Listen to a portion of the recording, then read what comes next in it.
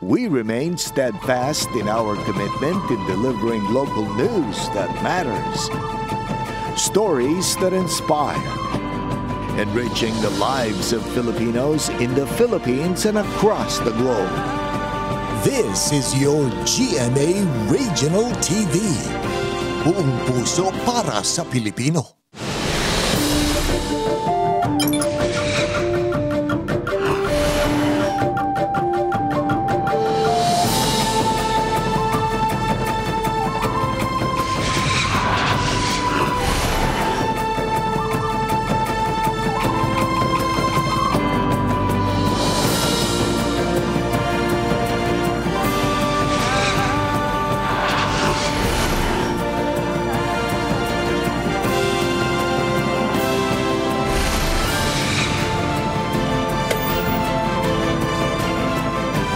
Ito ang GMA Regional TV, Balitang Southern Tagalog.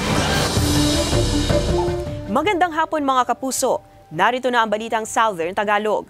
Hatid namin ang mga pinakamalaki at pinakahuling balita sa Timog Katagalugan. Live mula rito sa GMA Batangas Station, ako po si Ace Medrano. Ako naman po si Ivy Saunar Gasang. Matumal na bentahan ng isda nararanasan sa ilang pamilihan sa Batangas at Lipas City. Ang detalye sa report ni Denise Abante. Kung dati umaabot sa halos 200 hanggang 400 piso ang bentahan ng kada kilo ng isda sa palengke ng Batangas City, ngayon nasa 100 hanggang 350 pesos na lamang ito. Pabor ito sa ilang mamimili sa lungsod na healthy eating at gustong umiwas sa karne ng baboy.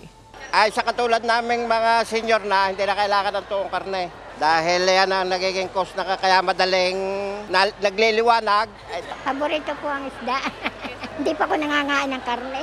para sa katawan din, hindi laging karne. Kalahati lang bunso, kami ngayon dalawa. Sa kabila nito, ayon sa ilang tindera, matumal pa rin ang bentahan ng isda sa palengke. Mababa po ang presyo ng isda ngayon kasi kakaunti po yung mamimili. Siyempre, binababa po natin ang presyo. Tingin ng pamunuan ng palengke, maaaring dulot ito ng kompetisyon sa merkado. marami nang bumibili ng panlako. Imbis na iuuwi ng palengke, ang ginagawa na lang nila, nag-aantay na lang sila ng mga naglalako ng mga isda. May pagbaba din sa presyo ng manok ng 10 piso kada kilo. Nananatili naman sa 330 to 340 pesos ang kada kilo ng karning baboy at baka. Sa Lipa City Public Market, walang paggalaw sa presyo ng mga bilihin. Ayon sa pamunuan ng palengke, ito'y dahil sapat ang supply ng produkto sa lungsod. Katuwang ang Department of Agriculture, patuloy ang monitoring ng DTI sa mga presyo ng bilihin sa palengke at supermarket. Muli nilang ipinaalala na may parusang nakalaan sa mga tinderang hindi sumusunod sa Suggested Retail Price o SRP. Siyempre sa mga sellers po, we advise them to comply with the fair trade laws being implemented by the Department of Trade and Industry. Kasama si J. Arman Hares, Denise Abante, Balitang Southern Tagalog. Labing siyam na volcanic tremors na itala ng FIVOC sa 24 oras na monitoring sa Bulkang Taal. Alamin yan sa report ni Andrew Bernardo. Araw-araw tuyong mga halaman ang bumubungad kay Aling Diwata sa kanyang bakuran sa Barangay Ambulong, Tanawan City, Batangas. Tingin niya, epekto ito ng bahagyang aktibidad ng Bulkang Taal. Wala naman pong tigil. At pagka nga po ganitong medyo maulan, lalo pong lumalakas sa kanyang buga.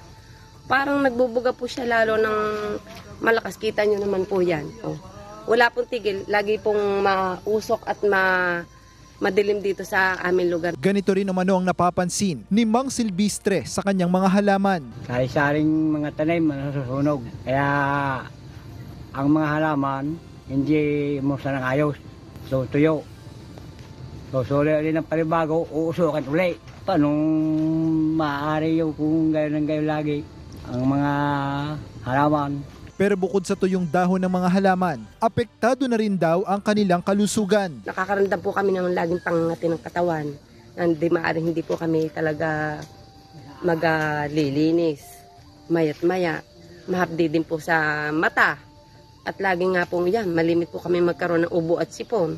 Ang nararanasan ng ilang residente sa Tanawan City na una nang sinabi ng Health Authority na sintomas ng pagkakalanghap ng volcanic smog o VAG. Karaniwang nabubuo ito kapag umaapaw ang volcanic fluids mula sa bulkan papunta sa lawa ng Taal. Pero ayon sa Office of the Civil Defense Calabarzon, hindi pa apektado ng Taal volcano activity ang Tanawan City. Based also sa continuous and close coordination namin with PBOX, itong mga volcanic smog eh nakakaapekto pa lang sa ilang mga bayan malapit sa Taal Volcano, particularly sa area ng Balete, Laurel, Agoncillo, Talisay. Wala rin umanong kumpirmadong ulat sa kanila na apektado ng bulkan ang kalusugan ng mga residenteng malapit sa 7-kilometer danger zone. Ma-associate po natin sa influensya o trangkaso given nga po yung, yung paiba-iba ng lagay ng panahon. Sa kabila nito, tutok ang DOH Calabarzon sa kalagayan ng mga residenteng maaring maapektuhan ng aktibidad ng bulkan. Kung matandaan nyo, all two weeks ago, umikot din po ang ating uh, team para po makita ang kalagayan sa ground at tayo po naman ay nag, nagbigay na ng mga paunang gamit Samantala, sa pinakahuling monitoring ng FIVOC sa Bulkang Taal, nakapagtala sila ng 19 volcanic na may habang dalawa hanggang tatlong minuto. Lumabas na 2,177 tonelada ng sulfur dioxide at 2,400 metrong taas ng plume na ibinuga at napadpad sa Hilagang Kanluran. Kasama si Kel Ravaca, Andrew Bernardo, Balitang Southern, Tagalog. Mga maliliit na bato na tinatawag umanong skorya na mataan sa lawa ng Taal. Para sa detalye, makakasama natin live si Andrew Bernardo. Andrew?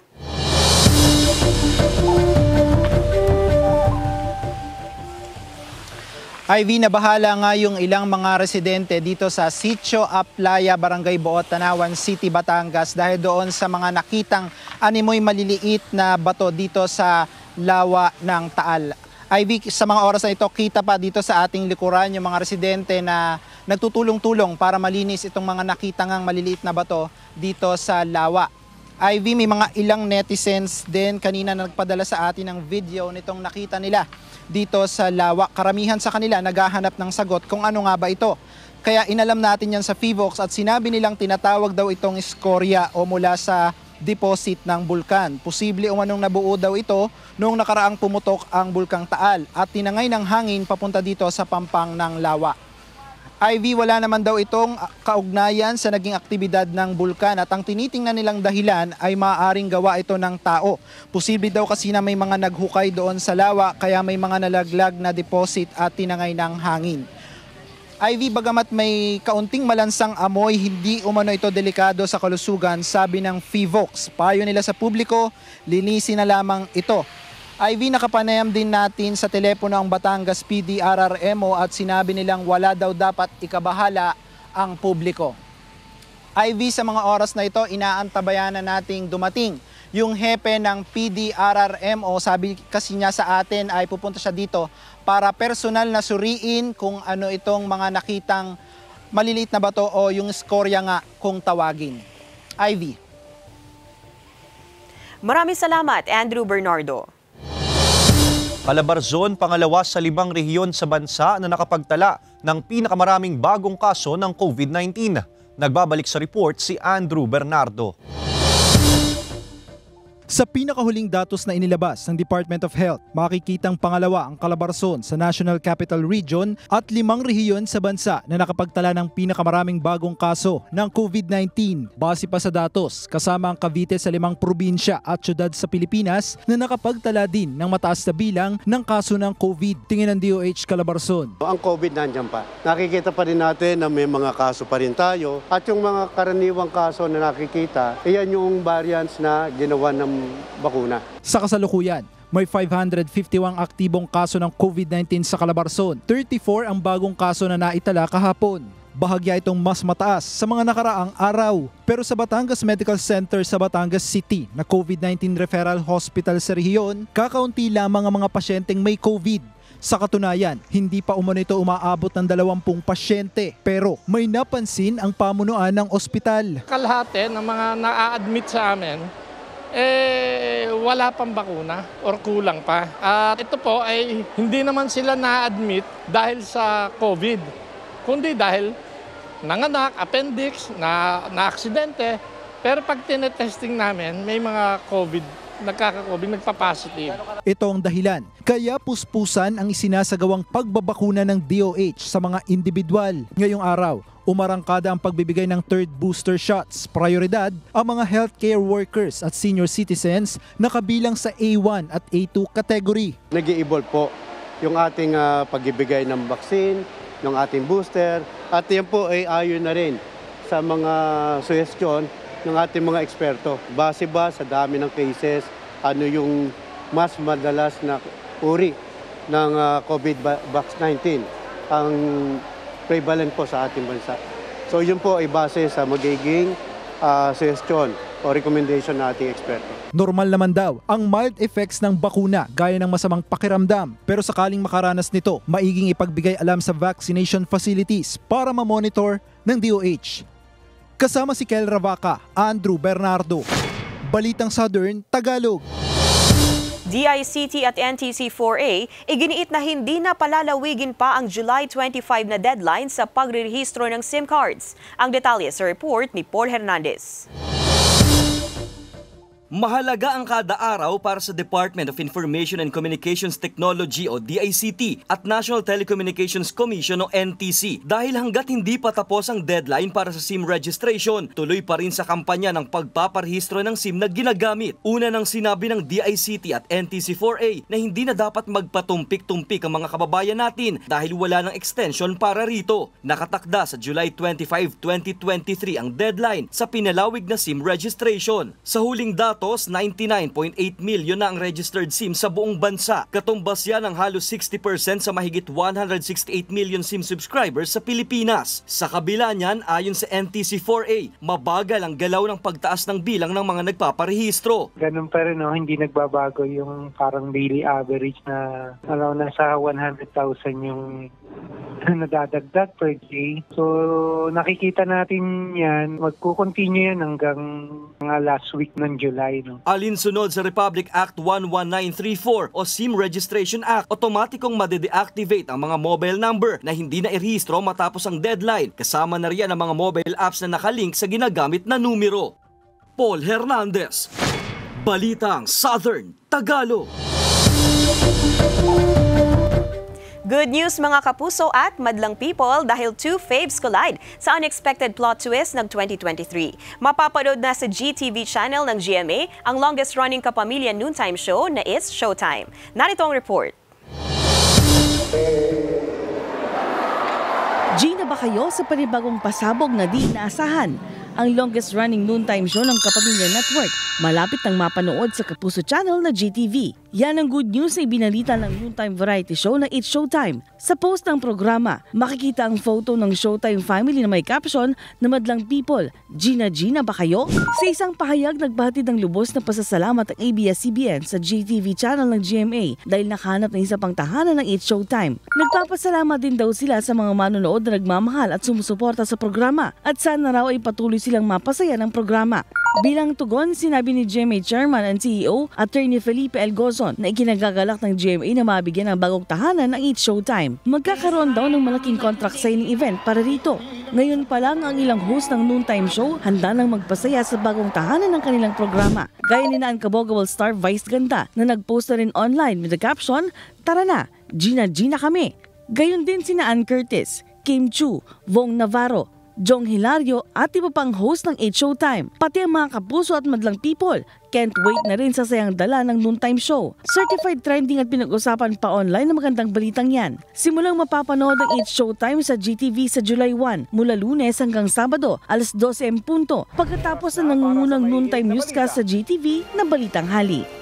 Marjorie Padua, Balitang Southern Tagalog. Ito ang GMA Regional TV. Balitang Southern Tagalog.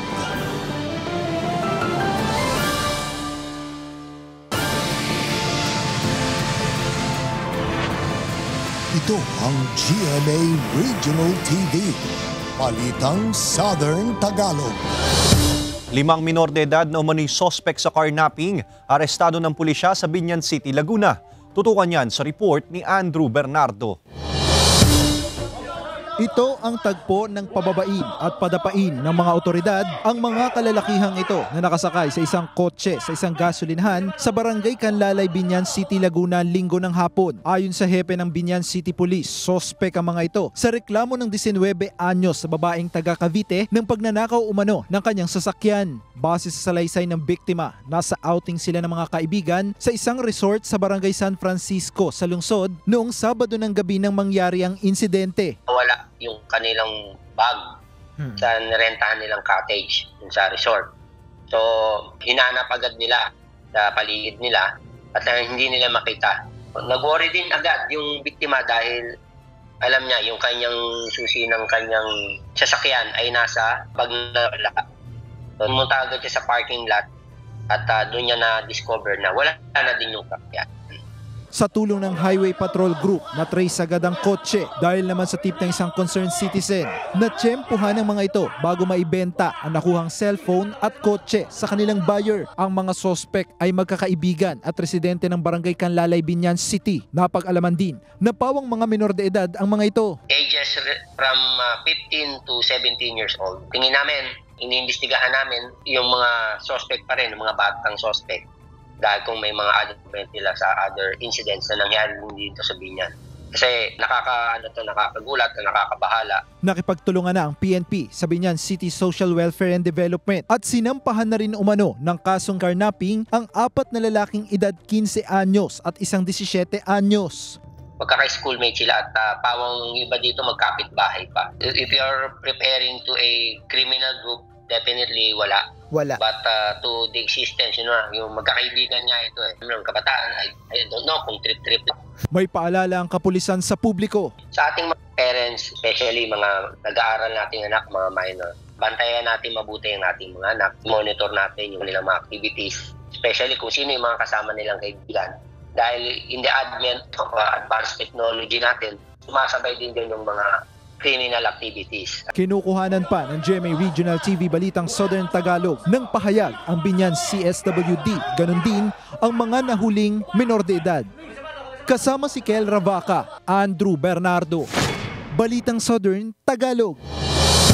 Nawawala ang isang seaman na taga-Tagkawayan, Quezon habang naglalayag ang barko sa karagatang sakop ng bansang Norway ilang araw na nakalilipas.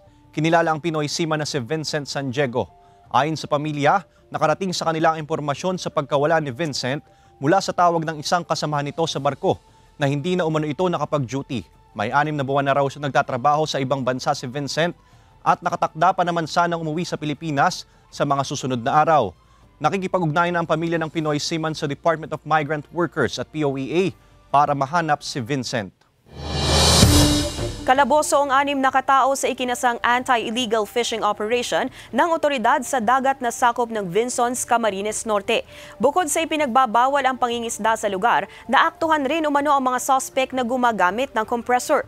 Nakumpiska sa mga ito ang isang set ng compressor, compressor hose na humigit kumulang 25 metro ang haba, tatlong piraso ng goggles at tatlong set ng plastic diving fins. Pawang mga residente ng Vinsons at Paracali ang mga nahuli na kasalukuyang nasa kustodiya ng Vinsons Camarines Norte Police Station para sa tamang disposisyon.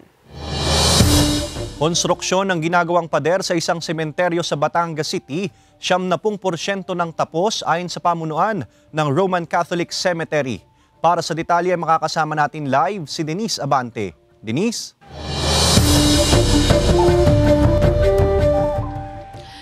Ace laking ginhawa ngayon ng mga residenteng nakatira malapit sa gumuhong pader ng Roman Catholic Cemetery na halos patapos na ang konstruksyon. May 11, 2023 nang simulang tibagin ang mga natitirang bahagi ng gumuhong pader sa Roman Catholic Cemetery sa Batangas City. Halos pitong buwan ito matapos gumuho ang pader dahil sa pananalasa ni Bagyong Karding September 24 noong nakaraang taon. Matapos ang halos isang buwan na pagtitibag at paghahakot ng lupa, muling binisita ng GMA Regional TV Balitang Southern Tagalog ang lugar. At ayon sa pamunuan ng sementeryo, 90% na itong tapos. Kulang na lang, edi pagka natapos ito, finish, finish na finish na, edi yung ilalagay namin mga bond box para may balik yung mga dating nakalagay dito. Dahil dito, nakahinga ng maluwag ang mga residenteng nakatira malapit sa lugar. Batid kasi nila ang banta nito sa kanilang buhay, lalo na ngayong nakararanas ng pag-uulan. Baka nga pag malakas ang ulan ay delikado. Pero ngayon ayos na naman mataas ang bakod. Nagpapasalamat po at naayos na, naayos na yung ano, matibay na tapos napatag na din nila yung nakatambak. Ayon sa pamunuan ng simbahan, hindi na rin nila palalagyan ng mga nicho ang bakanteng lupa malapit sa pader para na rin maiwasan ang pagkasira ng mga ito sakaling muling bumigay ang pader. Paalala naman ang pamunuan ng sementeryo sa mga residenteng nakatira malapit sa lugar. Ang paalala ko lang sa mga residente, huwag nilang lilibanan na. Nakatakdang ibalik ang nasa 30 mga buto ng mga yumaong individual na pansamantalang inalis habang isinasagawa ang konstruksyon. Sunod na gagawin ang paglalagakan ng mga buto ng yumao pagkatapos ng konstruksyon ng pader. Ace, ayon sa pamunuan ng sementeryo, inaasahang matatapos ang konstruksyon ng pader bago ang buwan ng Agosto para maibalik na rin ang mga butong pansamantalang inilipat para magbigay daan sa pagawain. Balik sa iyo, Ace. Maraming salamat Denise Abante. Pasok sa listahan ng mga top-notcher ng June 2023 Physical Therapies Licensure Examination o PTLE ang dalawang examinees mula sa Calabarzon Region. Rank 7 si Kenneth Brian Facun ng University of Perpetual Help System Laguna sa rating na 88.60. Rank 9 naman si Casey Franco mula Lyceum of the Philippines University Batangas na may gradong 87.65. Nanguna sa listahan si Edsel May Nakila mula Southwestern University sa rating na 89.90. Ayon sa Professional Regulation Commission o PRC, sa 1,026 na nag-exam, 708 ang pumasa sa pagsusulit. Nag-iisang taga Calabarzon Region naman ang pasok sa top 10 ng June 2023 Occupational Therapist Licensure Exam.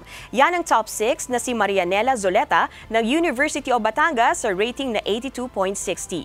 128 ang nakapasa sa kabuang 215 na kumuha ng pagsusulit.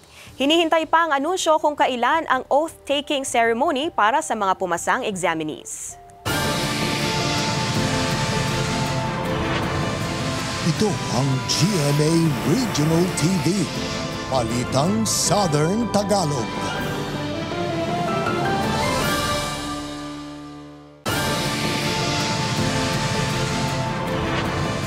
Ito ang GMA Regional TV.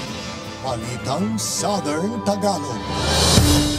Sugatan ng apat na kataong ito na lula ng dalawang motorsiklo matapos masalpok ng kasalubong na L300 van sa bahagi ng Barangay San Francisco, Tagkawayan, Quezon kaninang madaling araw. Sa investigasyon ng pulisya, galing sa Bicol ang L300 van na papunta sana sa Maynila nang sumabog umano ang unahang kanang bahagi ng gulong at nawala ng kontrol ang driver sa sasakyan. Kaya sumalpok sa dalawang kasalubong na motorsiklo. Agad namang nadala sa ospital ang apat na mga biktima na nagtamo ng mga gasgas sa katawan katawan. Nasa kustodiya na ng Tagkawayan Police ang driver ng L300 van na nahaharap sa reklamong reckless imprudence resulting to multiple physical injury and damage to property. Sinisika pa ng GMA Regional TV Balitang Southern Tagalog na makuha na ng pahayag ang mga biktima at driver ng van.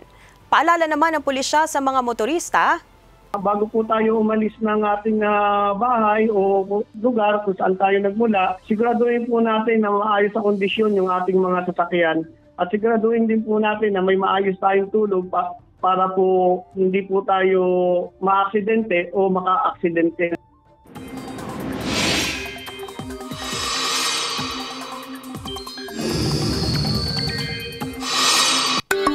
Mga kapuso, asahan ng pagulan sa ilang bahagi ng bansa dahil sa patuloy na pag-iral ng Intertropical Convergence Zone o ITCZ.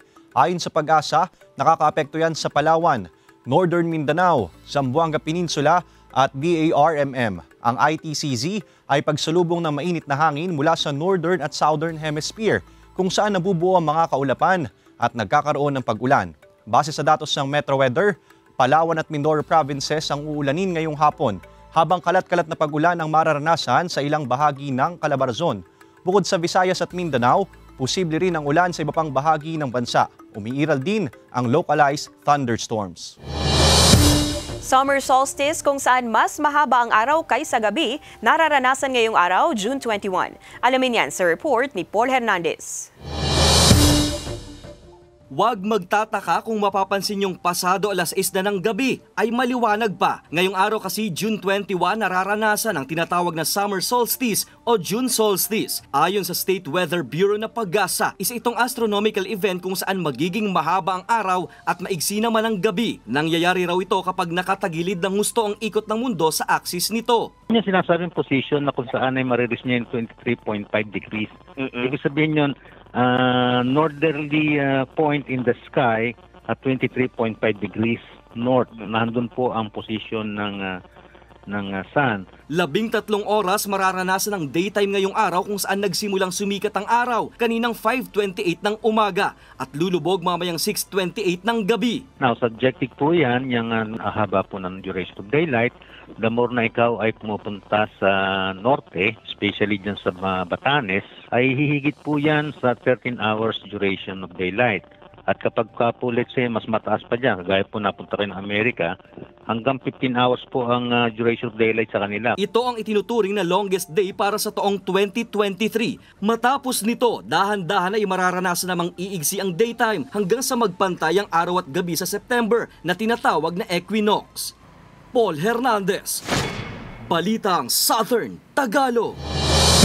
Ruru Madrid may hair transformation para sa kanyang upcoming serye. Samantala Isabel Ortega, hindi raw maituturing na situationship ang meron sila ngayon ni Miguel Tan Felix. Narito ang report ni Hazel Alviar. Goodbye long hair si Kapuso actor Ruru Madrid. Sa ibinahaging video ng Kapuso actor sa kanyang social media account, ipinakita niya ang kanyang mga hairstyle sa lolong at the right one kung saan mahaba ang buhok nito. Pero sa huling bahagi ng video, makikita na ang clean cut hairstyle. Paghahanda raw ito sa kanyang upcoming role sa isang series. Samantala, nauna nang inihayag ni Isabel Ortega at Miguel Tan Felix na not in a rush pa sila sa pagpasok sa relationship. Pero nilinaw din ni Isabel na hindi rin sila in situationship. Ayon sa aktres, ang situationship raw ay tawag ng mga kabataan ngayon o mga Gen Z sa isang hindi tiyak na relasyon o ang relationship sa pagitan ng dalawang tao na walang label o walang end goal. Dagdag pa ng aktres na hindi niya itinuturing na situationship ang meron sila ngayon ni Miguel dahil nanliligaw naman talaga ito sa kanya at may mga goals sila.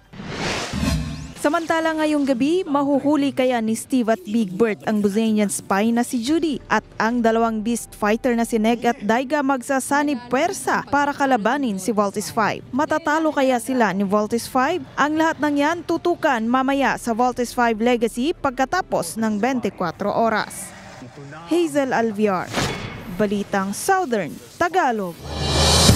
Kauna-unahang centralized barbershop sa loob ng Piitan, itinayo sa District Jail ng Pagbilao, Quezon. Silipin yan sa report ni Paul Hernandez.